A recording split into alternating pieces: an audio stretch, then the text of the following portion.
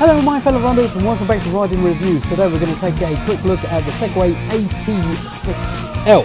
This bike is currently for sale, it is second hand, it has 1057 miles on the clock, it's approximately 6 months old and you can have this bike for £5,500. If you want it, please contact Cheap for us on 01908 319 889. If you want to check out the full review on this bike in particular, please go to YouTube and check me out at Riding Reviews.